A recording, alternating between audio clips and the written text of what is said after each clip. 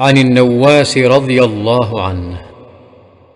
قال رسول الله صلى الله عليه وسلم ضرب الله تعالى مثلا صراطا مستقيما وعلى جنبتي الصراط سوران فيهما أبواب مفتحة وعلى الأبواب ستور مرخاة وعلى باب الصراط داعي يقول يا أيها الناس ادخلوا الصراط جميعا ولا تتعوجوا.